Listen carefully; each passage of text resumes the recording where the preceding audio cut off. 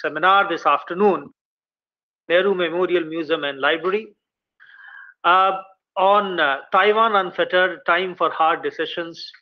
We have the pleasure of having with us today Ambassador Prabhat P. Shukla, who has been ambassador to various countries such as Singapore, Australia, and Russia. He has had a distinguished career and has also written many important things on foreign policy. It's my pleasure today to welcome him to this uh, seminar, come webinar, public lecture. We know that uh, Taiwan is, economically speaking, one of the success stories of East Asia.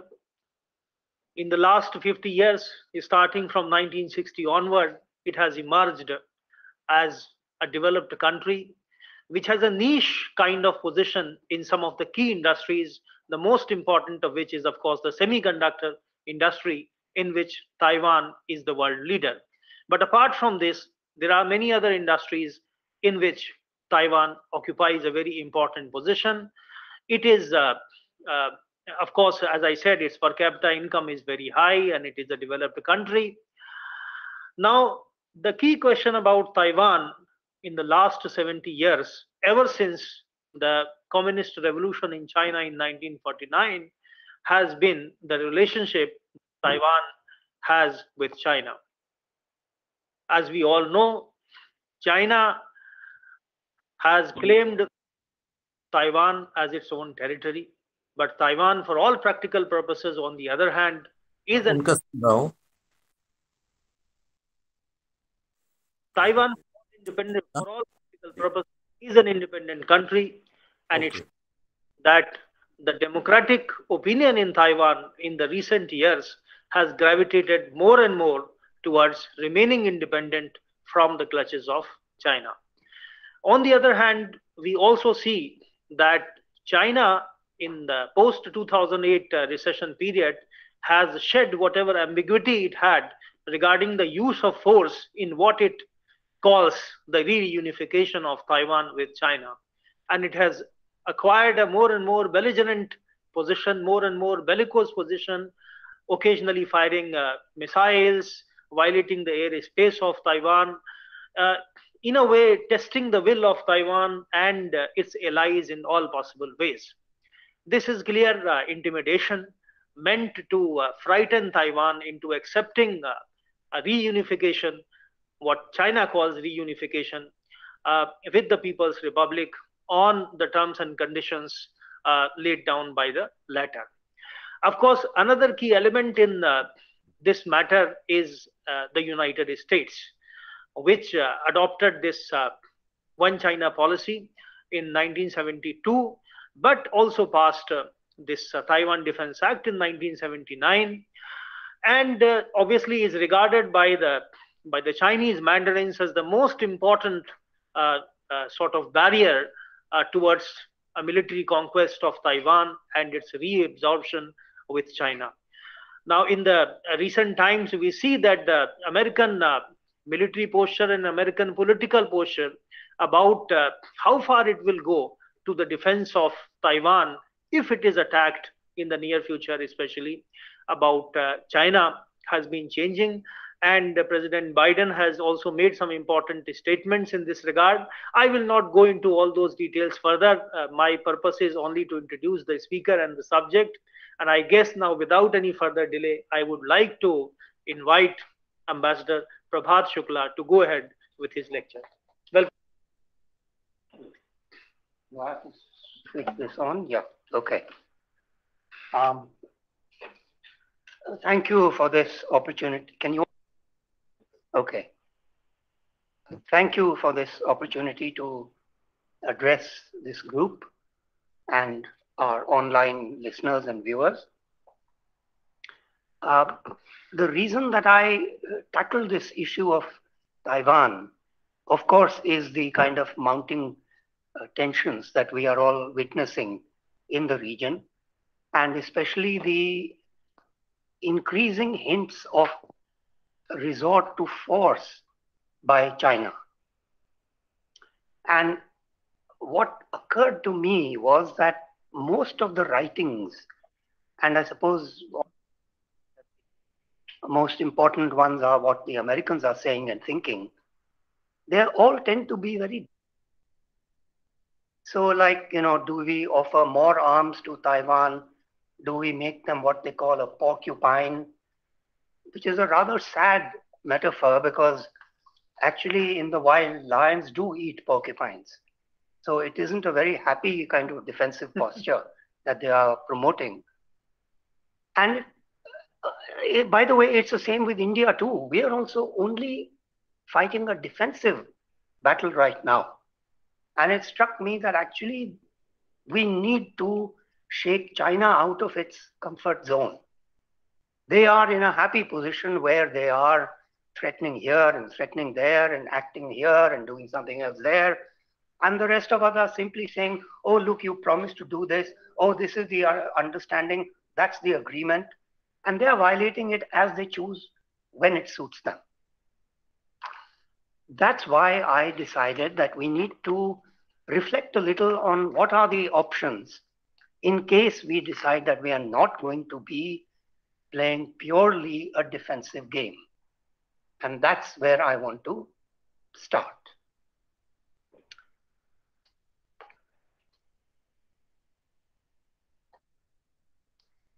Oh, you've got the article.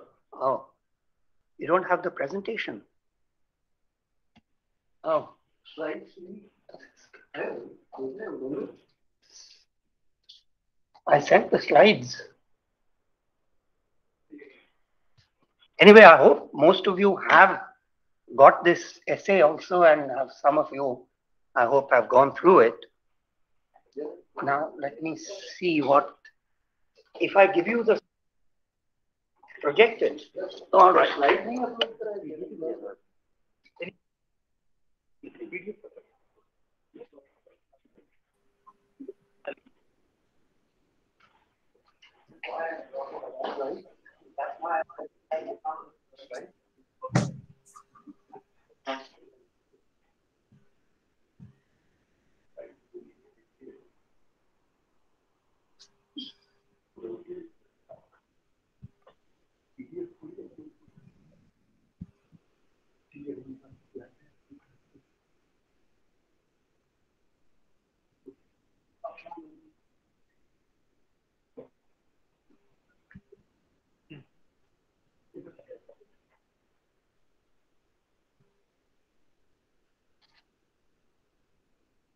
जी आ जाइए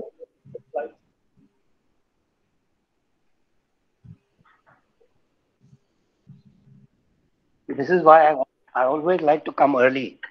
That's all right. To yes, make, make sure that kind of things. No, no, never mind. never mind. Okay, here we are. So now, let's go. First slide, please. Why, why I've said hard decisions is because frankly, we have all been slack in terms of our own defense posture. That has, that has allowed China to gain a significant military strength over the, over the entire region, along its borders and in the Western Pacific. Now, here I'm, my purpose is in showing you the first and second uh, island chains. And the first one, you see how pivotal Taiwan is. The logic of the first island chain, in case uh, you don't know it, I imagine that you do. So I'll very briefly cover this. That the idea is that with this chain of islands, that all are skeptical about China or even hostile to China will prevent it from breaking through to the wider Pacific Ocean. And the second island chain is a kind of the kind of second line of defense but if the first one is breached, then it becomes very much harder to safeguard the second island chain and the line of defense. Next slide, please. Now, this is where actually the position of the United States began to change. And notice the date, 27 June 1950, two days after the Korean War began. And here he is saying the punchline is I have ordered the Seventh Fleet to prevent any attack on Formosa. The rest were already covered by various defense policy statements by the Americans. Formosa and Korea were the two countries that they had not covered in their statements. There's a very famous remark by Dean Acheson where he where he mentioned all the American commitments, but he forgot to, or he said he forgot. Others have a different take on it. Didn't mention Korea, and shortly after that, the Korean War began.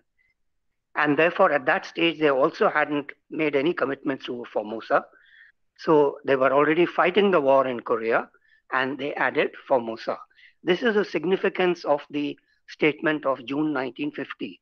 It marked a new approach by the United States to the region. Next, please. Now, this, I suppose you are you're all well aware of the kind of aggressive posture that China has been adopting. And of course, it should concern us more than anybody else. And uh, I, I just hope that we are going to pay a little more attention to our defense posture, which has been neglected uh, since the early 90s. And as I said, the defense, Uh, we have all been on the defense so far, and it's time to think of an alternative approach, but with adequate military preparation. This is vital. If we are going to knock China out of its comfort zone, we have to be prepared for a pushback by the PLA because I believe the PLA is out of control the more the Chinese leaders say that the party must control the gun, the more you can be sure that the reverse is actually happening. Next, please. Now, it's a legacy country. It's one of those countries that has con continued unchanged since 1911. Those of you who read Tsai Ing-wen's speech on the 110th anniversary of the ROC, it was about a week ago, uh, she marked the 110th anniversary. So she's drawing a straight line from the 1911 revolution, which ushered in the Republic of China. Now, the important thing is that the ROC has been a major player in global politics from 1911 till 1949 when it was defeated in the Civil War and Chiang Kai-shek and company fled to the island so here I'm going to cover four issues. One, its sovereignty. Second, its membership of the UN. Third, the claim on Tibet and the McMahon line, the rejection of the McMahon line, and the its role in the at the origins of the current nine dash line in the South China Sea proclaimed by China, which is really at the root of all the tension in the South China Sea. Next, please. Now, the sovereignty issue is really the starting point of everything else. The uh, Chinese today claim that their, their, that their position on Taiwan as a part of the People's Republic is based on a wartime declaration declared in 1943 by three leaders who very modestly call themselves the three great allies, namely Churchill, Roosevelt, and Chiang Kai shek. And they undertook that after the Japanese were defeated and the war was over, they would ensure the return of those islands and territories that were taken over by the Japanese since the start of the First World War to the Republic of China, which included Manchuria and Taiwan and the Pescadores. Now, the question is who is the Republic of China? Because Taiwan, as we know, is the Republic of China. They celebrated their 110th anniversary just about a week ago. And this was a very serious argument between the British and the Americans. The Americans at this stage were led by John Foster Dulles. This is an important point because Dulles was not the Secretary of State at this point of time. But he had been brought in by President Truman because Dean Acheson, who was the Secretary of State, was known to be an Anglophile. And he had been pushing for accommodating the People's Republic under British influence. This is a, this is a subject which I am still trying to unravel exactly why the British were so soft on communist China. I believe I have some answers, which I'll be glad to share with you. But the point is that this was handed over to, to Dulles as a matter of deliberate choice by President Truman, so that when he negotiated the San Francisco Treaty, Acheson was really sidelined, even though he was Secretary of State. And it was Acheson's efforts that made sure that the San Francisco Treaty, which was the negotiations were completed in 1951, it entered into force in 1952, that the final disposition of Taiwan and the pescadores was left open. And in fact, in the negotiations which Dulles and uh, Churchill had, by this time Churchill had returned as prime minister, Dulles suggested that any moves regarding the final disposition of Formosa would require a reference to the people of the island. British did not agree, and so the whole thing was left in limbo. Next, please. The second issue is the expulsion of Taiwan or Formosa, Republic of China. I'm using the three terms interchangeably from the UN. Now, Article 6 of the UN Charter is quite clear that a member can only be expelled on the recommendation of the Security Council. Uh, the way this was done actually was that all the action was in the General Assembly. And this was a matter, I think, of deliberate choice by the four or five major powers that were involved in it. So all the action was in the General Assembly, where no one, no country has a veto the Americans at this time, please remember, Kissinger had completed his secret visit to China, and they were preparing at this stage for Nixon's summit visit in early 1952, uh, 1972. And so the matter went to the General Assembly.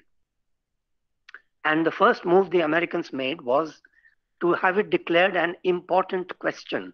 This is a specific term under Article 18 of the Charter which means if it is deemed to be an important question, it will require a two thirds majority for any proposal to carry. This was defeated by a simple majority. And then the Americans put in another resolution suggesting that both the People's Republic and the Republic could be members. And this was also voted down. And then finally, the resolution moved by Albania at this point of time, Albania and China were very close. Both of the two communist parties were uh, arguing against the CPSU, the Communist Party of the Soviet Union. And so their resolution was to expel the Chiang Kai shek representation. And the, that vote was carried again by a simple majority. This is important to remember, you know, because now when we are talking about India joining as a permanent member, and we have a group of four that is doing this. Quad seem to be the rage right now. This quad is actually India, Germany, Japan, Brazil. We are four applicants for permanent membership. China is now arguing that this must go to the General Assembly as an important question, and therefore we need a two-thirds majority whereas in their own time, they were perfectly happy with a simple majority. This point needs to be emphasized by us. And the important thing is that the UN Charter still lists the Republic of China as a permanent member of the Security Council, which means that the presence of the People's Republic is a violation of the UN Charter. And in my view, this is a subject matter which should be referred to the International Court of Justice. Now, the International Court of Justice uh, adjudicates only those matters that are moved by a sovereign state. Taiwan is no longer deemed a sovereign state, so they cannot do it. And therefore, it'll have to be some other group of UN member states, or there is one more line of attack, and that is that the ICJ can issue advisories on a reference made by an NGO. Now, this I think should be easier, and the advisory will have almost the same effect as an as a judgment. So, ah, yeah, thanks. So this is this is one of the proposals that I think we really need to be working on in all the various quads and all that we are we are members of. Next, please. Now we come to the most important thing from our point of view, which is the McMahon line. It was the Republic of China that rejected the outcome of the Simla conference. It was not the PRC. The PRC has simply adopted the same positions. And its objection was based on a disagreement over the line of the inner of inner Tibet vis-a-vis -vis the rest of China. Now, the interesting thing is that the Republic of China accepted an almost identical agreement to the Simla Convention in respect of Mongolia with Russia as the third party. It's called the Treaty of Kyakhta, signed in 1915. And you know, it's very painful for, for me to see where we have reached. In 1911, 12, 13, Tibet and Mongolia were in identical position uh, with vis-a-vis mainland China. Mongolia's patron was the Russian Empire, then the Bolsheviks. Tibet's misfortune was that its patrons were the British Empire, British Indian Empire, and then Nehru's government. So you see what a, what a marked difference there is. Mongolia is a sovereign state member of the UN. Tibet is suffering under the jackboot of the PLA. Very painful for me to reflect upon this. But I think Taiwan or the Republic of China can make amends even now by retrospectively changing its position on the McMahon line. The UK has done that recently, well, not recently, 2008. They changed their position on the issue of suzerainty and sovereignty and said that really there's no difference, it's the same thing, which of course gladdened the hearts of the leaders in Beijing. But here could be, I think, a very powerful rejoinder from the Republic of China to say, yes, they accept the McMahon line, and their objection to the inner Tibet boundary is now moot. They have nothing to do with Tibet anymore anyway.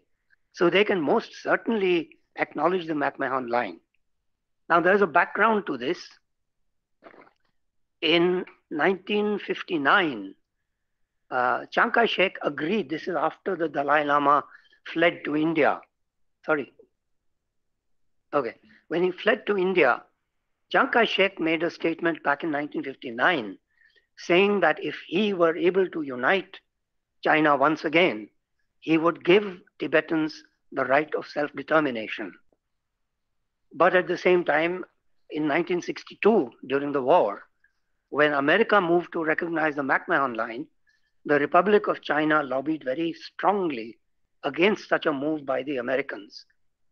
If you read uh, Galbraith's, uh, what's it called, the An Ambassador's Journal, you will see a lurid description of how he managed to get this thing done so that the Americans recognize the McMahon line as the boundary between India and Tibet. Next, please. Now, here is another of those puzzles which will lead us back to Britain and, and Chiang Kai-shek.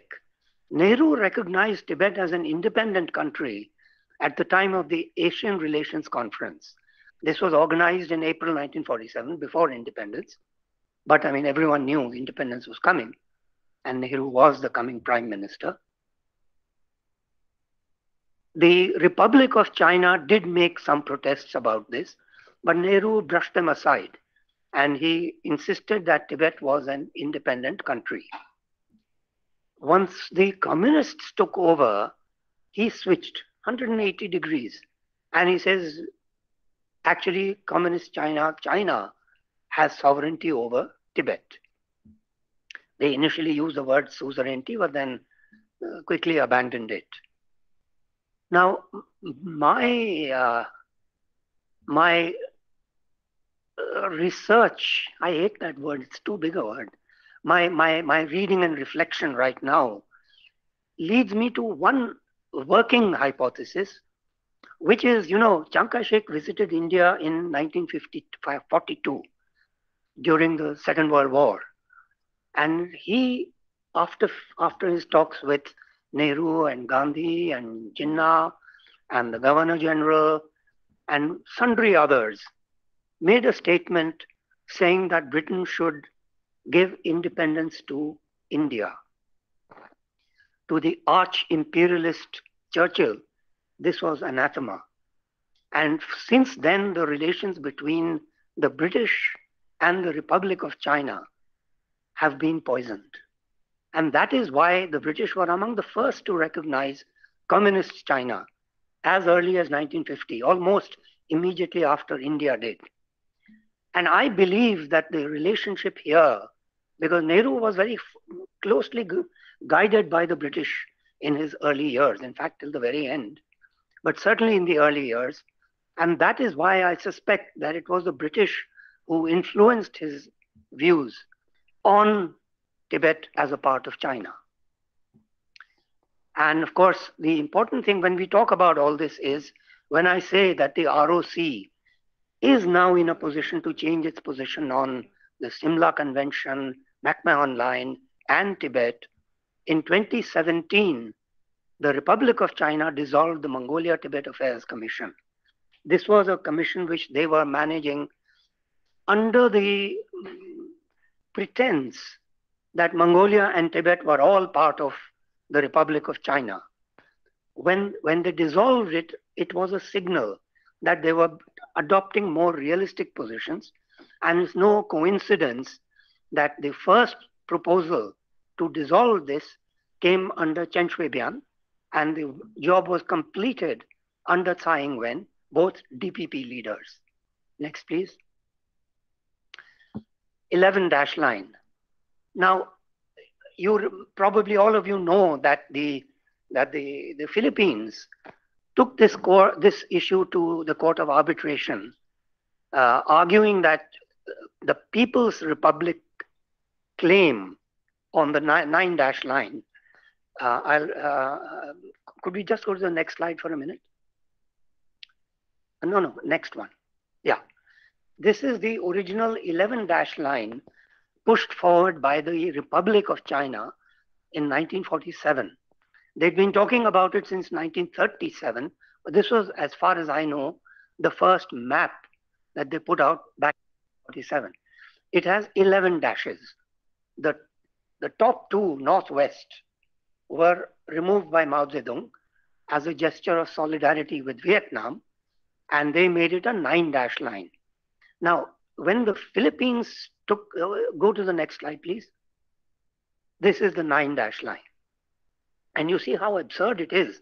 They're claiming uh, islands that are very clearly far, far away from their territory and much closer to all of those in the first island chain.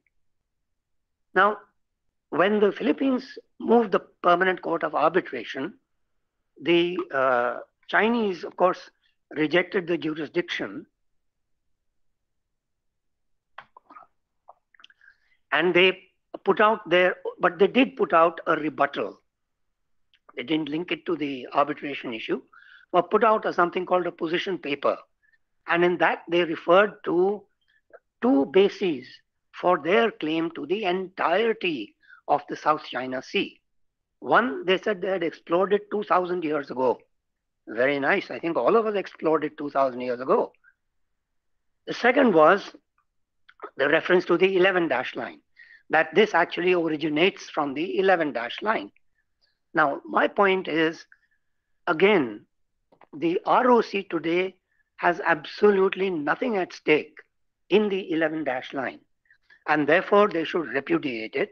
They have a they have a claim to the Taiping Island, and it is said in the uh, Taiwanese media that the reason that they are also upholding the uh, 9 11 line posture is that they don't want to compromise their claim to the Taiping Island.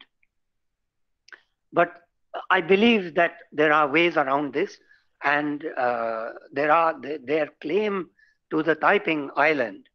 The Permanent Court of Arbitration called it a rock, so that's one of the reasons that the Taiwanese didn't like that judgment. But I think there's a way, there's a workaround here, and once you reject the 11 dash line, you have undermined the basis for the 9 dash line. So I think this is the other angle of attack, which will again undermine whatever claims China may have, which are utterly false anyway, to this region. Next, please. Yeah, okay, I think I've, I've covered most of this, so we can, we can move on. Now we come to the uh, policy options. I'll repeat again that in order to implement any of the ideas emerging out of this recounting of the Republic of China and its history and its strategy, the first thing is that we have to be prepared for a very strong pushback from China, which means we have to prepare our defenses. All, all the countries involved must prepare their defenses very, very carefully. It's interesting that yesterday, according to reports, um, uh, President Biden has made a statement at a uh, at a gathering of certain people. It's called a town hall meeting, uh, organized by CNN, where twice he was asked, "Would America go to the defense of Taiwan if it were attacked?" And twice he said, "Yes, it will." And of course, his own colleagues have undermined that statement by saying that there is no change in America's position. But I think this is something that we need to take on board because it's a very significant remark coming from President Biden. Um, he's not always all there, but I think this was probably prepared. And the fact that he stuck to it twice suggests that there is some serious intent behind it.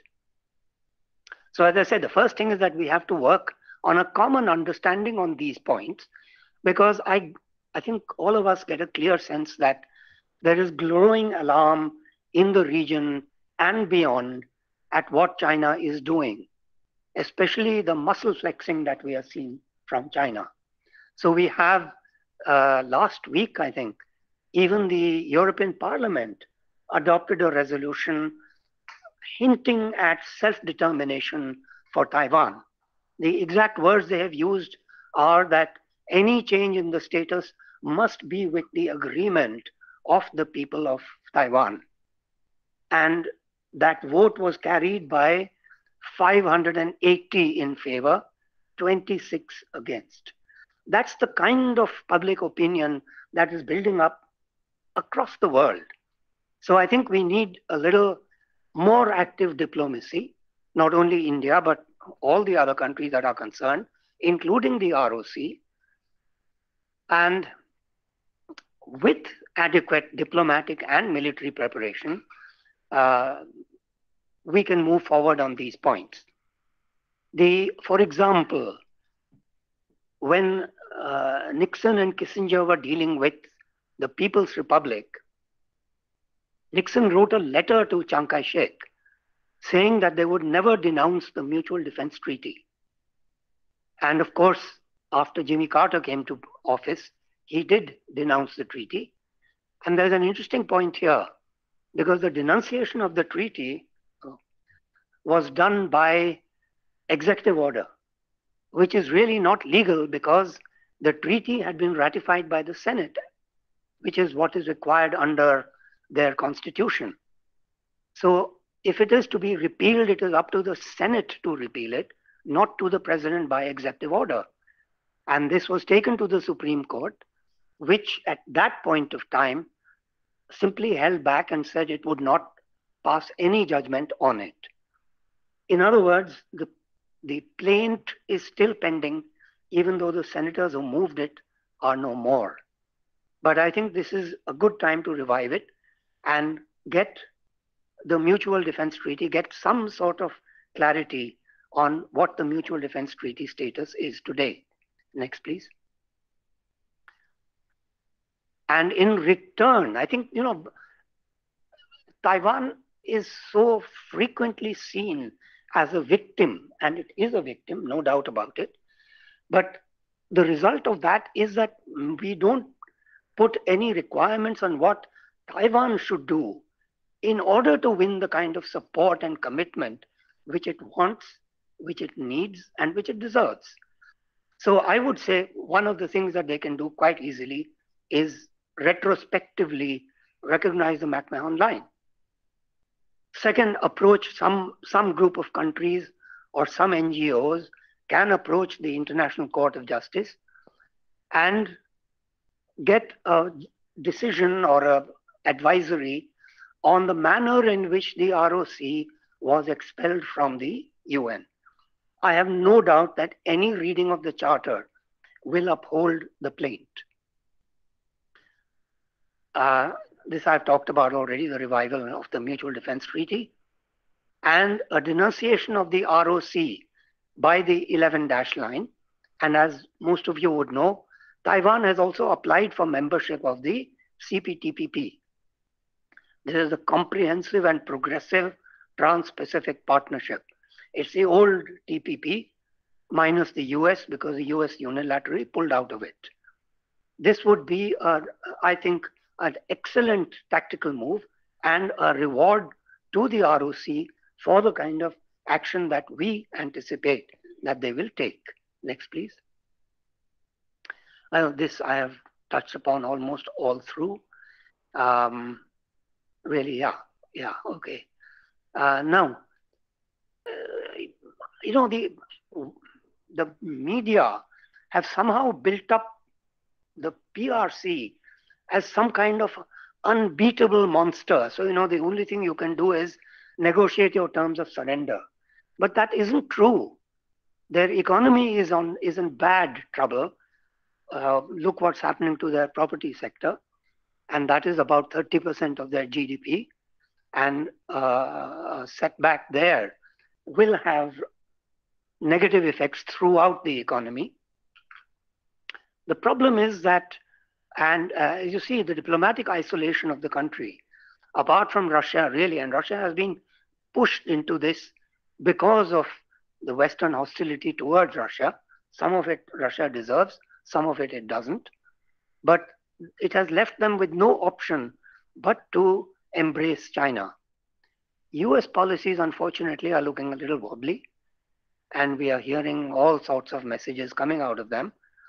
But I think give them a little more time. I think they are, um, I was going to say they're moving in the right direction. I'm not sure about that. Uh, their uh, USTR has talked about recoupling, which didn't sound good to me. But let's see how it goes. But um, I think there is enough leverage in the United States to be able to hold the line. And as I said just yesterday, President Biden has made quite a firm declaration, which we need to encourage and build upon. Um, ASEAN will be the hard nut to crack, but I think it's something that we do need to work on. At least some members would be willing, if not openly, then at least tacitly, would be willing to go along with this. And I think as the process moves forward and succeeds, it will attract greater support from ASEAN. Next, please. Alors, we are done. Thank you very much.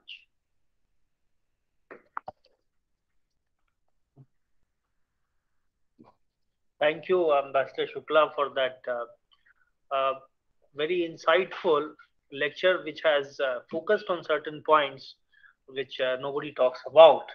And uh, I'm sure that uh, there is a lot of stuff that needs to be discussed from the viewpoint of international law also. It will be an interesting topic for the practitioners of international law because the nuances that you have presented, of course, they need to be studied and uh, taken further. We are now open to uh, questions and comments from uh, all those who are present. Uh, I request everybody to be brief in questions.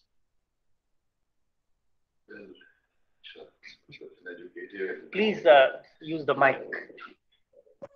It's so informative and educative, and it, you know, fill in some of the blanks which I was trying to fill. I did a small write-up on China.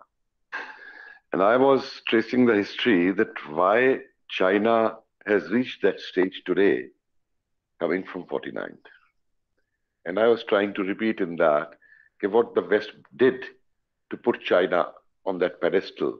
And this whole explanation going back to that of, you know, with Taiwan and earlier countries comes to that. One of the reasons I see is in this Taiwan question you raised that why the British were so close coming to the communist China is, uh, and I'm telling it with my research, I have some recommendation, I'll be uh, doing more on that, and it goes to the Second World War phase also of the Japanese fight and uh, the INA fight over there, and the INA having a big training headquarters at Shanghai at that time, and the tie-ups which are coming, there's more in the Shanghai archives. I think Priyadarshi uh, Mukherjee's book must be uh, carrying out some more. Now, my questions are specific to here. One is I can't understand that why, like China and like Taliban, or I may add the third to it, Pakistan, historically it has been proved that they have not kept any of their ties, their promises, their treaties, or anything. And why still again, these big diggads of diplomacy in the world, they keep believing on it that China has said that they will move from Galwan, you know, two kilometers back and they will do it from this and that and all. That's not that. I have an understanding of China dating back to what Napoleon had said about China way back in 1812 that it's a sleeping dragon and don't wake her up. Otherwise, this dragon will shake the world. And that's what the dragon is doing today. And the crucial question now comes is that when all these alliances, when NATO was made, SEATO was made, and all, is it not possible for India now to take an initiative that all the neighboring countries of China, which have been you know, persecuted by China in one way or the other, particularly in relation to the boundary question, starting from Vietnam to, uh, if you go even Russia that side, or uh, Mongolia or Nepal, all these countries, to make a thing together that everyone should know that they can move jointly and China can't fight all the fronts. I had said in one of my write-ups that it is time to have such an alliance and put China back into the China walls, which was the original China. Because if China talks of maps and all, then the earliest China original is the China wall. You know, beyond that, out is the lands served by China uh, from all others. And then this whole Chinese threat which is coming every second day. They very cleverly used a biological weapon. I am aware of that. When that was ending, they brought in Galwan. When Galwan is ending, they brought in Taliban. They are out there to do some mischief or the other, which is going to be over there. They are not going to sit tight or keep quiet. And again, now this Taiwan, Taliban this side. So again, again, now it's on Taiwan again and Japan again and doing that aspect. But still, I see that China knows this thing very well. That whatever threatening gestures China may make, China can't will an ultimate war, with whom it's a make.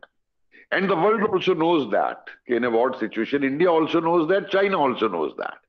Now, when these things are equally known to both sides, that China can't win a war, or we can't do it, China, whatever his destruction is going on to, why do still these world leaders try to placate China and go behind it. And the only last point, the last reason I find behind it is if China has to be restricted, then the dominance of economic lurements and economic profit gains of multinationals, they have to give it up. Otherwise, America is doomed. Forget India. India will still survive. Thank you. We'll take two, three more questions before you answer. Fine. Can you write back? Yeah. Hmm. Otherwise, I tend to forget. Yes. Any other questions? Yes, please come ahead and use the mic.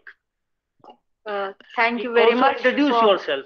Okay, I'm Varada. I'm a junior research fellow at Teen Murti. Uh, thank you for thought-provoking uh, presentation, sir.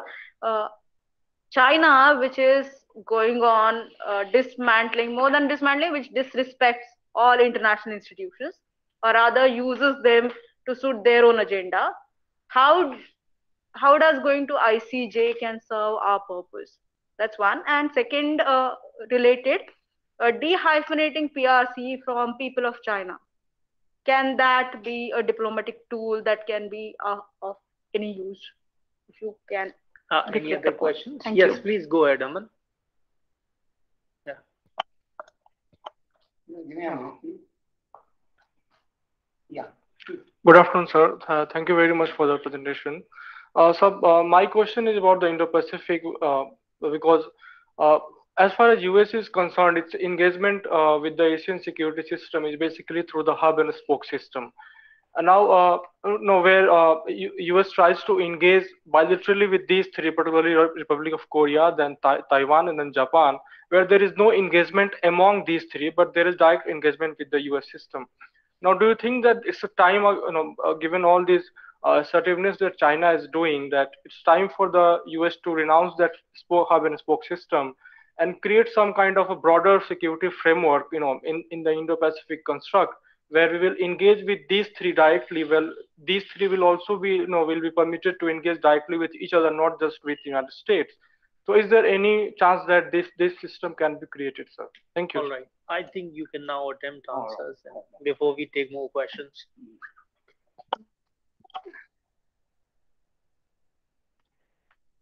Okay.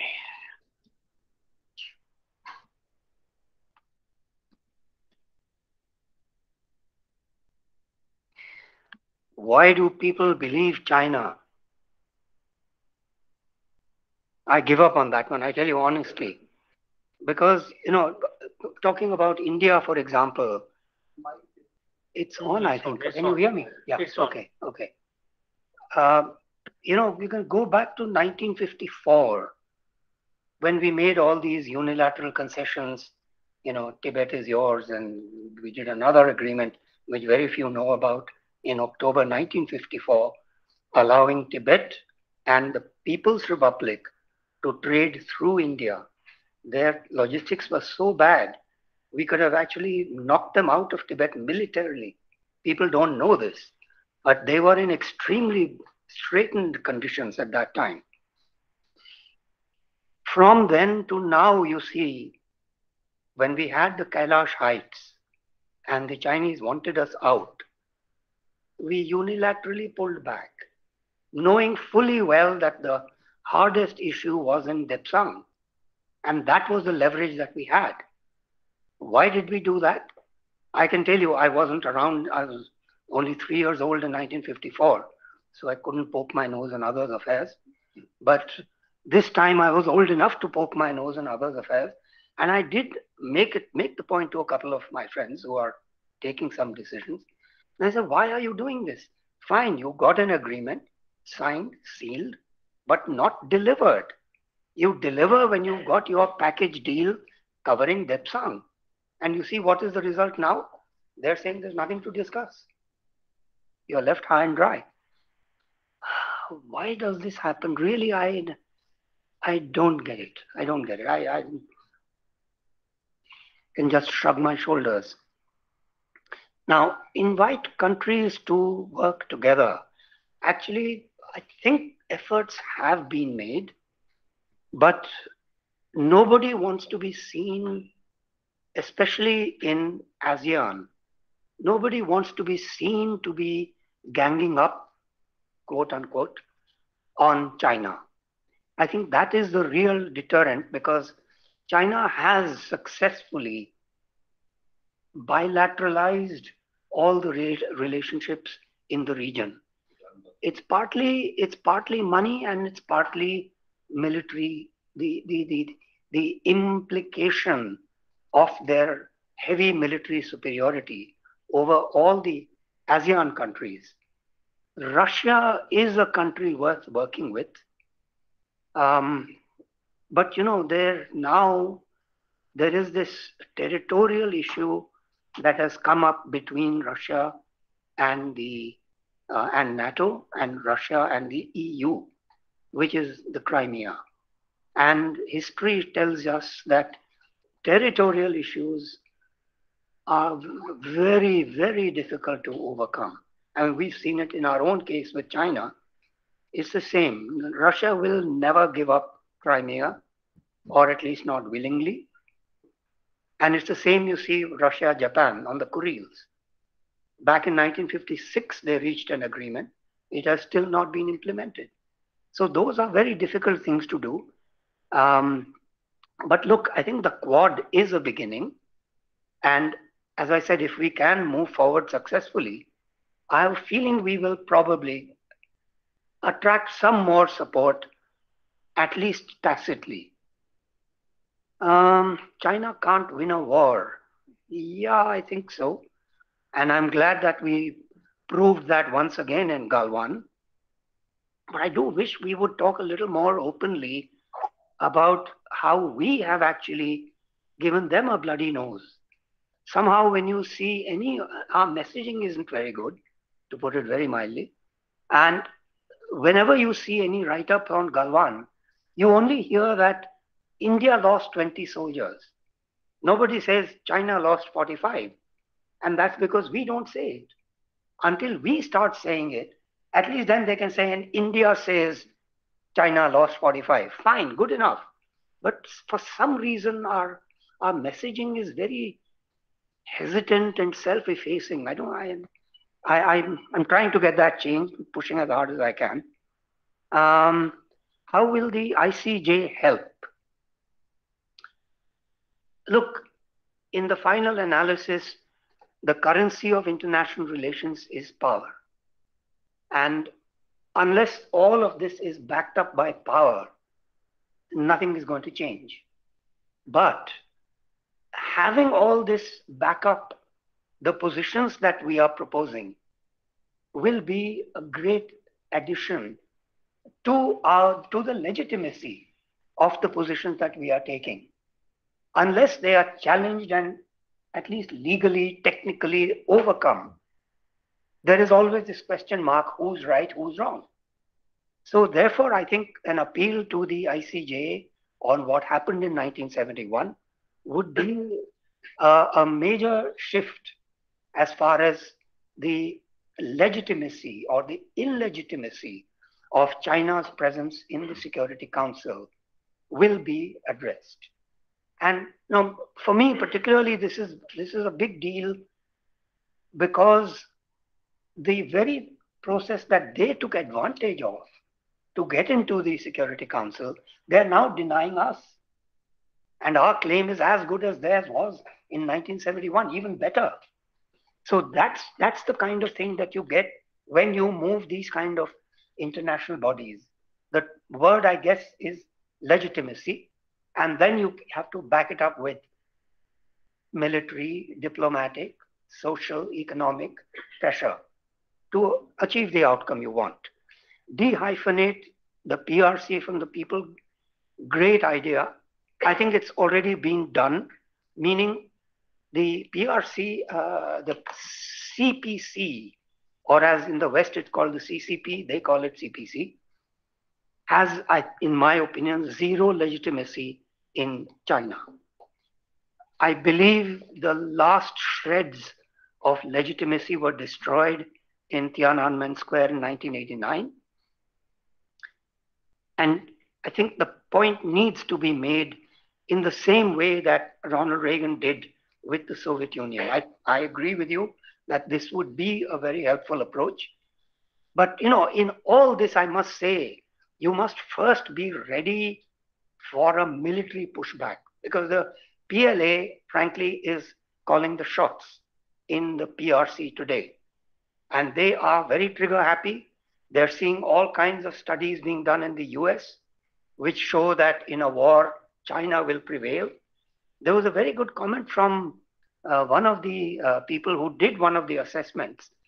And she wrote saying that, you know, we deliberately bias these studies in order to show, highlight the weaknesses of the American military posture. So when you get an outcome that China will prevail, it's not the reality.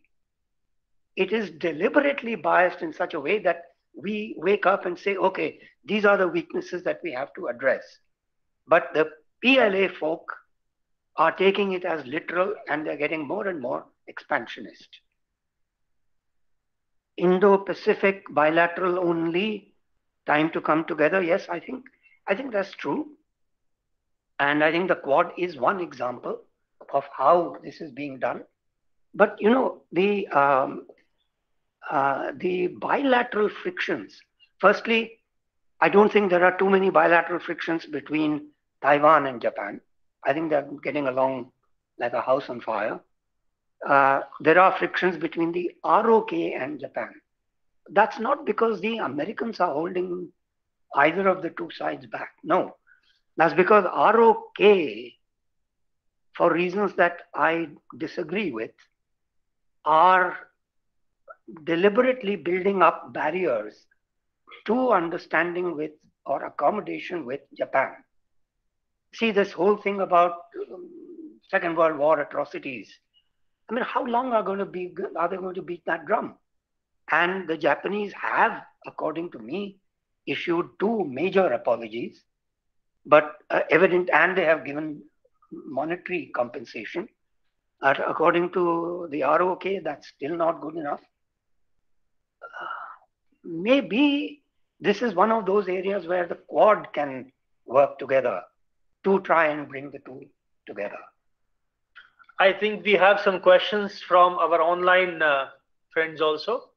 If there is any question, please go ahead. Yes, go ahead. Yeah. Thank you, sir. And thank you, uh, Ambassador Shukla. I don't have any questions.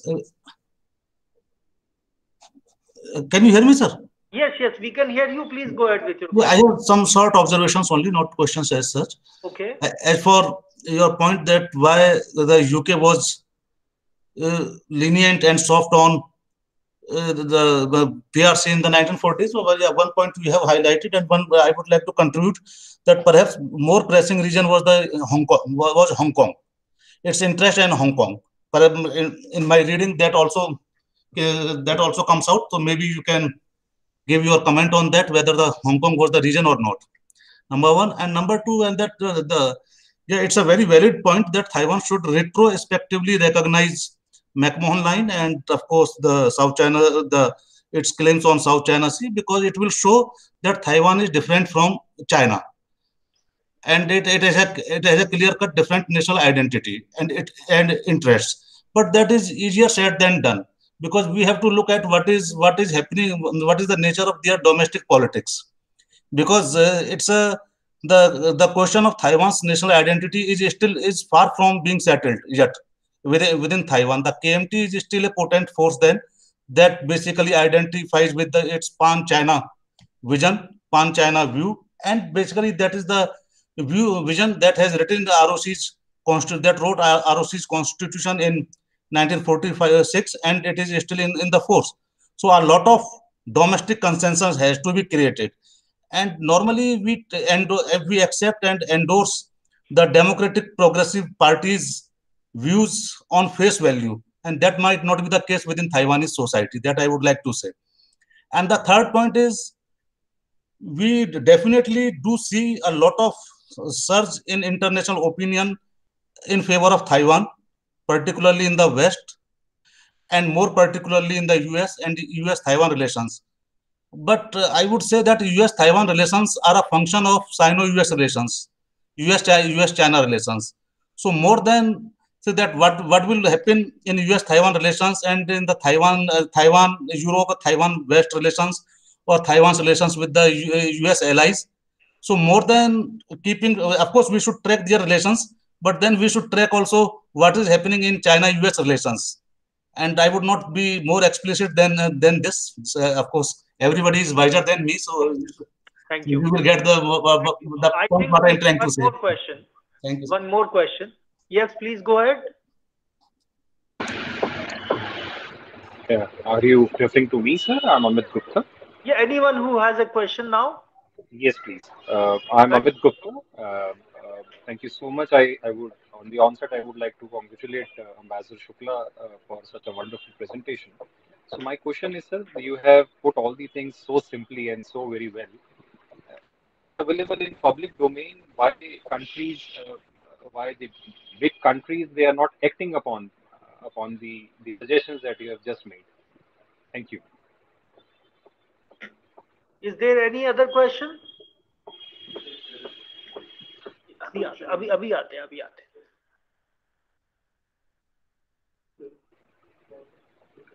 Um, Mr. Gautam, Gautam Sen, you are muted, sir. You have to unmute yourself. We can't hear you.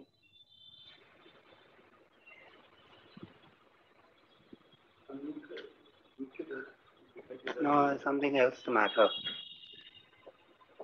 All right, uh, we'll come back to him later. In the meantime, there is a question from here from Professor Makhanlal. Go easy, boss.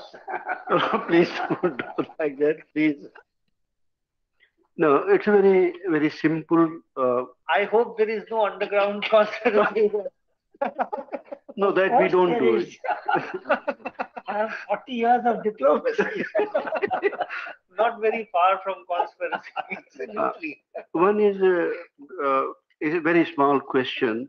Another is a very brief explanation, if you will permit that for that. Absolutely. Go ahead. Question is very simple, sir, that a treaty is signed between two sovereign countries.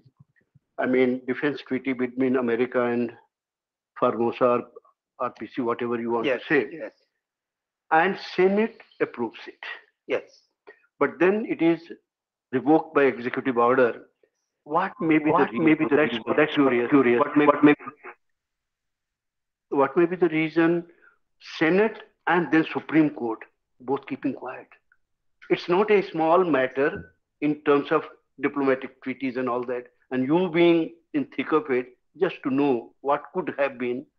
Second is explanation for two minutes uh, about Kapil's question that all these countries, South China Sea and all that, they should come together. A very small thing which Ambassador Shukla probably recall. There was a when uh, the Silk Route issue began. There was never a Silk Route before 18th century. It was all Uttarapath and all that.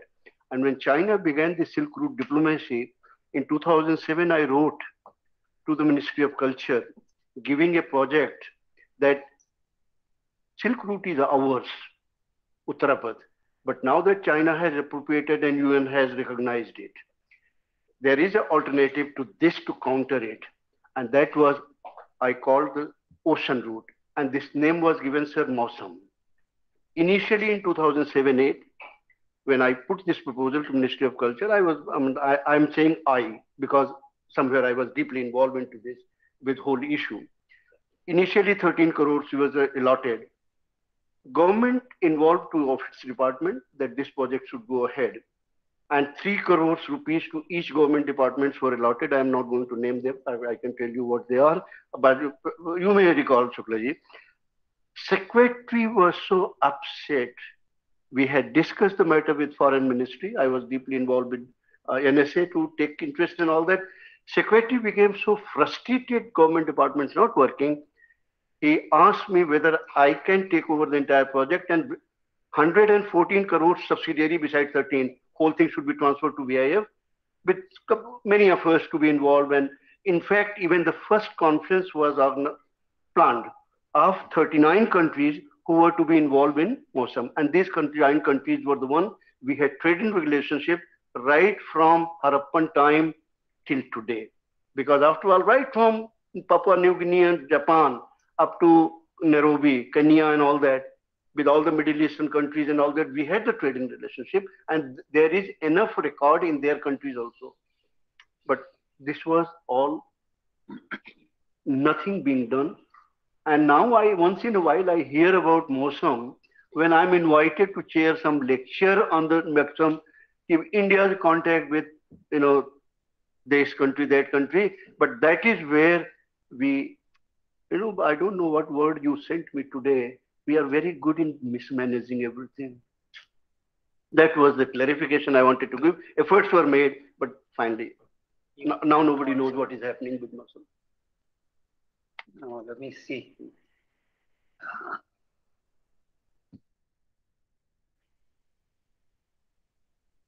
I can't read my own handwriting. I don't know what I what the first question was. Anyone remember? Uh, the first question was, uh, you know, he actually more or less uh, agreed with you, but he said that uh, Taiwan. Why are people acting on it? Yeah. Yes. Yeah. Yeah. Well, my my answer is on two vectors. The first is that you know developing a policy requires a collection of minds to work together on what is desirable and feasible. I, I'm hoping that the kind of things that I'm writing are a contribution to what should be done. A lot of people are worried about what is happening in Taiwan. Many, many more are worried about the direction that the People's Republic is taking. But apart from, you know, a purely defensive stance, and sometimes not even that, very few have gone beyond that. There was an article yesterday in the Wall Street Journal by the former US NSA, uh, John Bolton, where he has brought up one or two of these points. For example, I think he has said that uh, the US should recognize Taiwan as a sovereign country. Okay, now that's step one.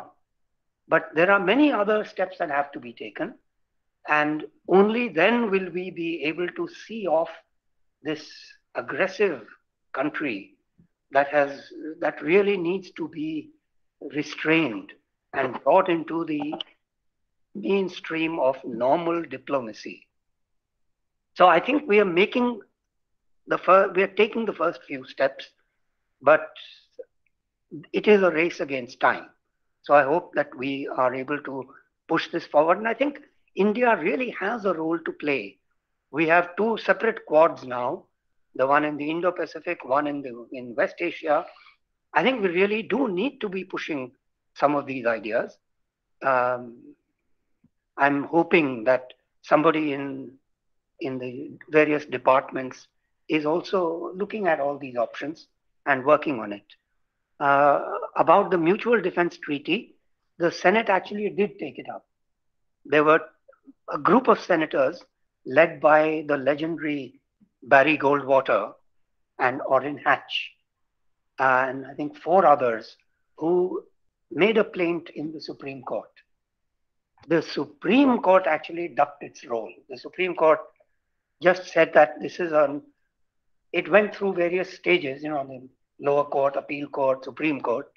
And the Supreme Court, when it came to, to their level, they just bounced it back to the appeals court and said it's for them to, to take a view.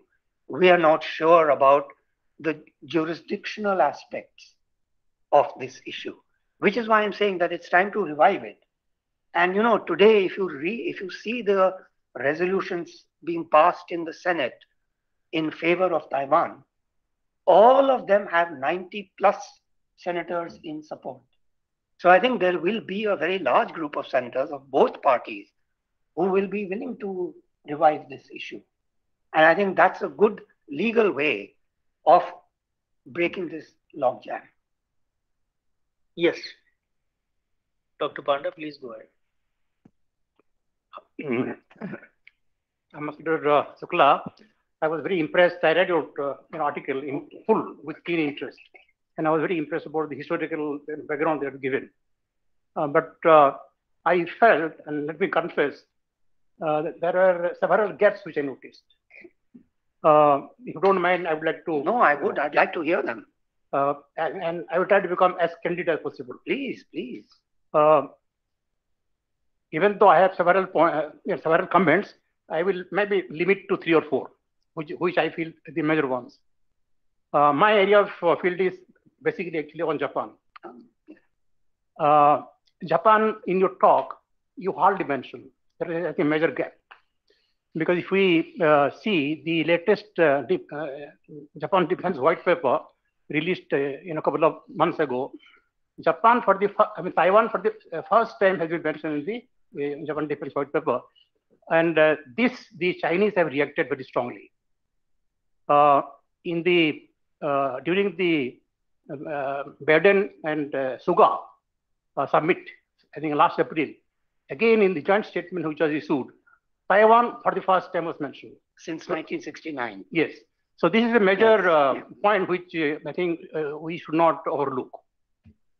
Uh, the other point, you talked about the International Court of Justice. Uh, the Philippines first went to the court against the Chinese claim on the South China Sea and uh, got a verdict in its favor. But let us also not forget the the verdict of the uh, the, the International Court of Justice is not binding. They it, it lacks enforcing authority, and the Chinese know know about it. No wonder they just you know you know, you know dismiss in the dustbin. So so when you talked about the you know, Security Council resolution and also referred that the case can be referred to uh, the International Court of uh, you know, Arbitration. Same thing. We, uh, even if suppose somebody goes there and then we uh, fight uh, you know for justice, the result will not be bi- binding and it, it cannot be enforced. So, so that is uh, one more uh, point that I wanted to mention. Then, uh, when while talking about the ASEAN, now very serious doubts are being raised about the centrality of ASEAN as a successful regional organization, because uh, within within the ASEAN, there are also certain countries uh, who are very close to China, Cambodia, Laos, and of course Myanmar. And Myanmar's uh, geographical location is so uh, significant for both India and uh, China that uh, uh, My- Myanmar, even though it is under the military rule, we have been engaging because our own strategic, um, I would say, uh, interest or compulsion or, or whatever word uh, you may use. Similarly, uh, China also, uh, uh, you know, because of its hostile or maybe difficult relations with us, also would like to be closer to Myanmar so that it can, you know, have its presence there. As regards Japan, Japan has been uh, economically engaging with Myanmar even, you know, for uh, decades. So uh, it has uh, hugely invested uh, in, in Taiwan, uh, in, in Myanmar, and it will be very difficult for Japan to withdraw. The latest is uh, after the military coup in the Myanmar on 1st uh, in February, uh, the ASEAN actually has been very, very ineffective. The the uh, the EU, uh, uh, United States, the American, uh, the European Union, they have imposed uh, certain sanctions, but then the ASEAN has been very reluctant until until last 15, when in their they have they are going to have a summit meeting on 28th of this month, and for the first time the, the, the junta is not being invited. So they are they have, they, they have decided to you know, invite one non-political person. So so so, so uh, if we keep this in mind, what is that we can expect from uh, ASEAN as- so far as South China Sea is concerned? Uh, amongst the 10 ASEAN you know, um, member countries, I, I, see only one country, that is uh, Vietnam, which can have some, you know, uh, say and, and position. So these are all some points that I would like to mention, which maybe, yeah. and also one more point, uh, sorry, last, last point. You talked about uh, Japan, uh, uh, Korea, Japan-China relations. See, uh, Japan has, you know, the territorial disputes with Russia, uh, the historical, the shadow of history, I would say, you know, uh, with uh, China uh, and South Korea. So these are not so easy to go away. You know, we may we may just talk that uh, uh, even even Taiwan also was under the Japanese rule, but then at uh, now there is no question of you know history, you know, hurting the relationship, and the comfort women issue, you know, and also the there is a, there is a court verdict in Korea uh, demanding that the Japanese uh, must you know, pay uh, compensation for the um, you know, workers during the Korean rule. So this also again again another uh, you know irritant. Japanese you know signed visit. There is a, there is a perennial problem for the both China and Japan, uh, China and South Korea. So these are all very very complicated actually issues. It's not simple one. All right. And lastly, I would like to request you to draw three scenarios on the security front. centering on Taiwan. And the, and the what could be the you know, worst case scenario? Thank you very much. Would you like to say? Please be. See, I am very clear in my understanding that China is now more confident and more determined after the newfound allies with Turkey, Taliban, and Pakistan. Pakistan was an earlier an ally, but I am very clear that they have an understanding that dividing parts of the world, you go this side, we go this side, and that's why the entire silence on the Uyghur issue by these all so-called uh, fanatic uh, Islamic countries on this issue. And second thing I'd like to say, when we are talking of these legalistic documents and all these things, what stops us from reverting our stand and calling Tibet as Pak uh, as China occupied territory? Why do we say we have our borders with China? Historically, our border was never with China. Why don't we say Indo-Tibetan border to resolve the issue? Why is the government hesitant in that? And lastly, I will say, sir, one of the reasons when it is said that we are hesitant that why things don't come out clearly, my experience shows that there are so deep rooted pro-China elements, not pro-communist elements, I'll say pro-China elements, that even our opposition leaders today speak the language of China and question China when it comes to Indian nation. Thank you. Uh, would you like to add anything or would you like to respond in any way? Yeah, So these are more like comments. yeah, these are, these are mainly comments. Anything So- if, you, if you want to. No, I, I take on board your point about Japan and that Japan needs fuller treatment. Actually, my uh, maybe you can help me since you since you study Japan. I am handicapped right now by a lack of data on the Japanese economy. I've been looking for information for, for hard data. Sorry on the Japanese recovery after the war. So if you can, you know, give me some URLs or sources where I can understand how the Japanese economy recovered, because you know their vector was different from that of Europe. Europe got Marshall aid.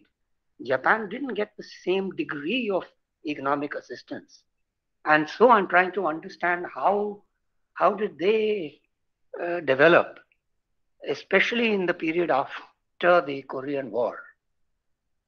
So you can, I, I, I'll make good this point about Japan. It's a very important one. And I'll be doing another report on the global economy. I'm really by, by training and by preference a student of economics.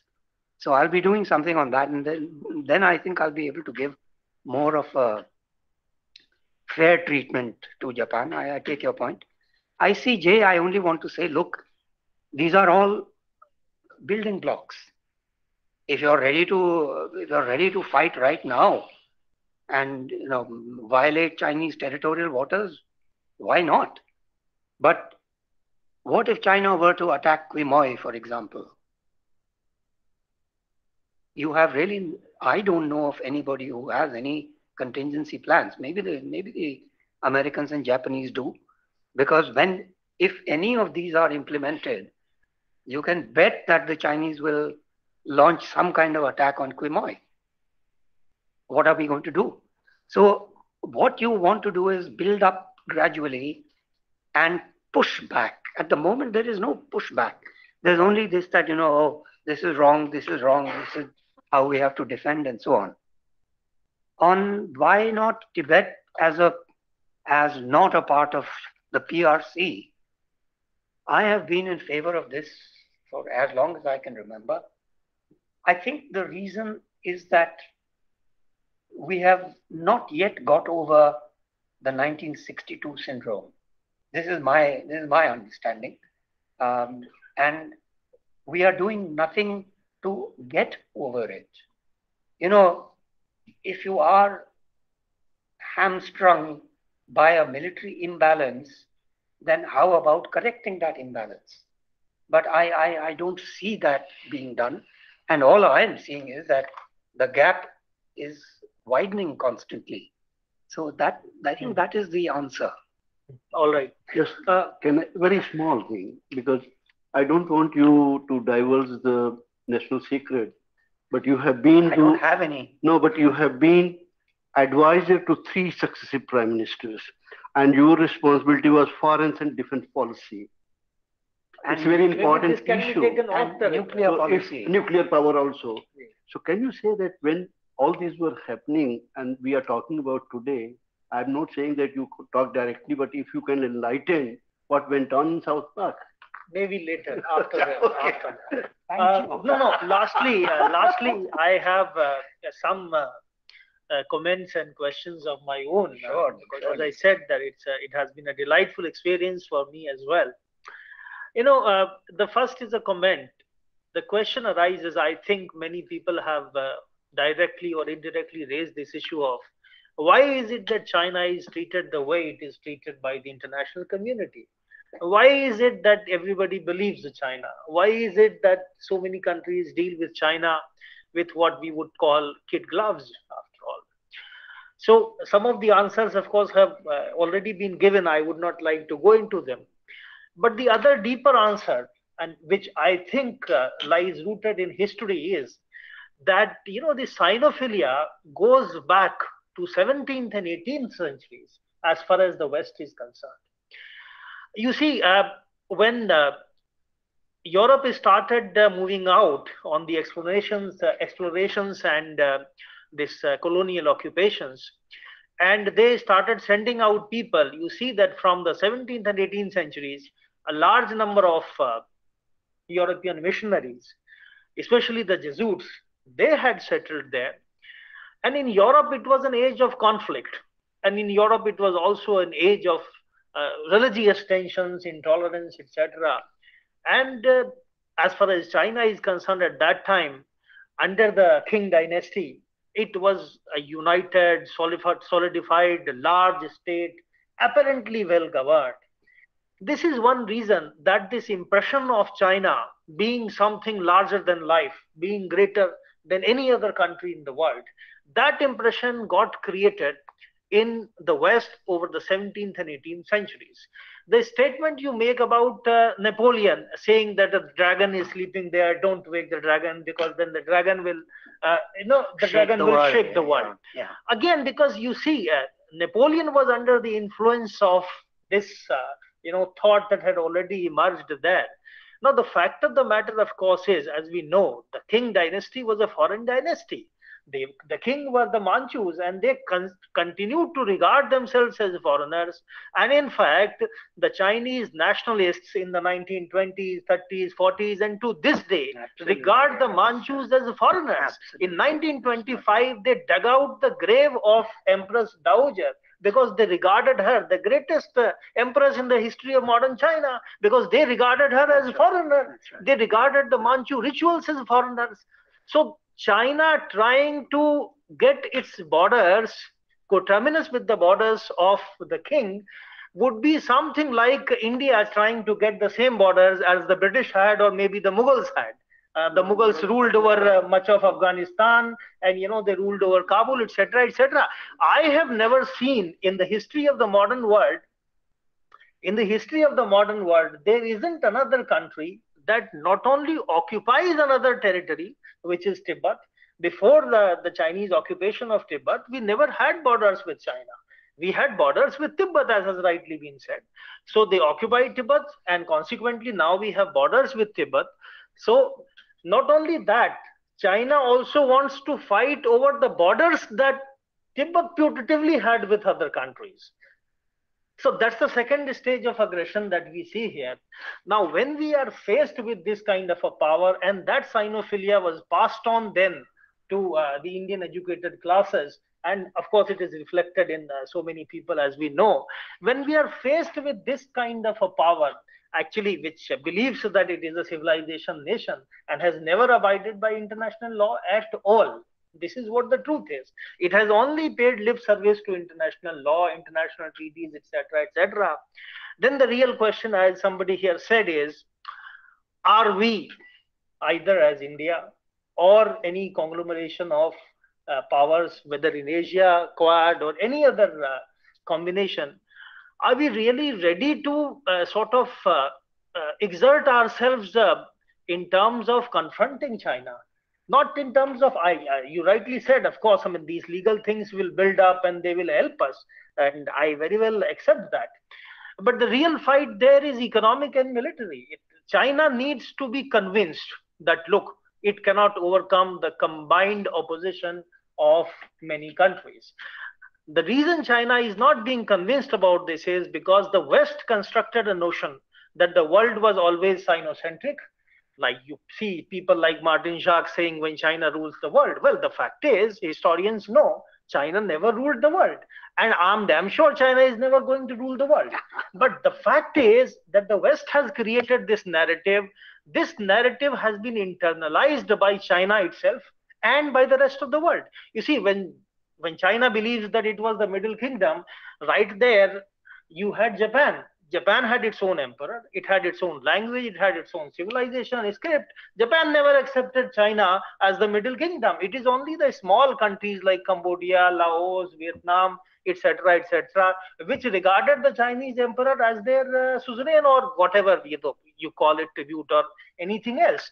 India, of course, never accepted China as uh, anything superior. In fact, the Chinese described uh, India as the Western heaven. That's what the truth is. So, what are we talking about? China was never the Middle Kingdom. The world was never Sinocentric. In fact, India had a far more important role uh, in, in Asia because of its uh, favorable geographic location. However, the problem is that China is now convinced of this narrative. It has internalized that the narrative that it, that got created in the West. How to now wean away China from this narrative and convince it by demonstration of economic, military power, and international unity that China must abide by international law, China must abide by international treaties, rules, regulations. Otherwise, it will have to pay a very, very heavy price for this. These are my questions, comments, whatever. If you may like to respond, I'll be happy. I think the the there are two two angles that I would like to address. Uh, one is when you ask, how do we confront China? And the answer is, you can do it only in the same way that China has risen to where it is today, where it is able to confront not just the US, but pretty much every country around it, singly or in combination. And that is rapid economic growth and rapid investment in your military. If you cannot do these two things, then you cannot confront, full stop. Now, I think we, I mean, as I said, I am a student of economics by inclination and training. I do have a full blueprint of what India needs to do on the economic side in order to rise much faster than it is doing. It's doing pretty well, but the potential is much, much higher, much higher. And, you know, we have a structural advantage which China never had, and that is a very high level of domestic demand. so we are not dependent on export markets in order to grow fast. But the trouble is that we are not utilizing this advantage to the full. Now, I don't want to veer off into a discussion on the economy, but the point is that unless we can fix our economic growth to a much higher growth path and then spend a minimum of 3% of GDP on defense, actually, I would say in the short run, it should be more like 4% of GDP to make up for the last 30 years, then you really cannot confront because these are the sinews of global power economic wealth and military power. So that that is one point that I would address. Your other thing about why is China treated so well? There are two parts to it actually, and you know this is an open subject. It, I, I, I don't claim that I have reached the final conclusions on this, but two things do strike me. One, that everybody else is colluding in it. Now, you have made some excellent points about the historical reality. But are even we talking about it? From 1 AD to 1700 AD, India was the largest economy in the world. How many Indian economists even talk about this? And this is not an Indian student saying this. This has been written in the book by Angus Maddison. In fact, is the only one who has been No, in this. fact, Paul Bairoch has given even Paul higher. Bairoch has given another. Bairoch's yes, estimates are even higher. Exactly.